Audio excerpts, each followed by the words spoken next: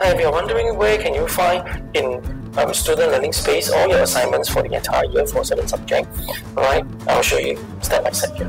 Okay, if you go into your class, alright, or your group, you will find that you only have these three tabs assigned in, pro- in progress and completed. And a lot of those that you completed on the old past assignment has been taken away. Alright, so in order to find those old assignment, what you can do is very simple. You just go to the left tab here, go to assignment, click all the assignments given to you in chronological order. Okay, so for certain subject, if you just want to focus on one, okay, you just go to display. Uh, you will see the different groups here. Click on the particular subject group.